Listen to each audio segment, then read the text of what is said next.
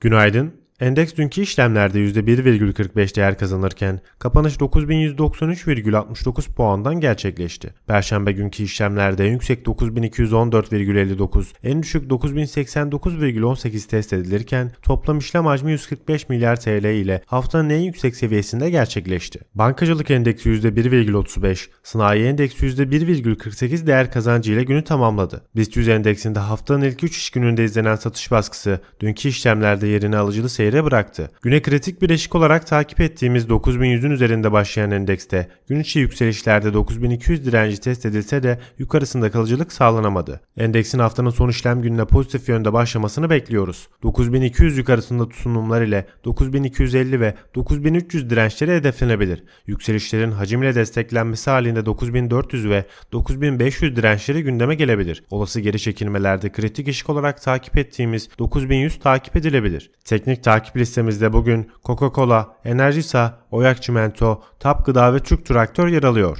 Bugün küresel piyasalarda imalat piyama ile Euro bölgesinde önce enflasyon verileri öne çıkıyor. Yurt içinde ise ISO imalat PMI takip edilecek. Ayrıca Arçelik ve Borsa'nın 2023 4. çeyrek dönemine ilişkin finansal sonuçlarını açıklaması bekleniyor. Herkese bol kazançlı bir gün dileriz.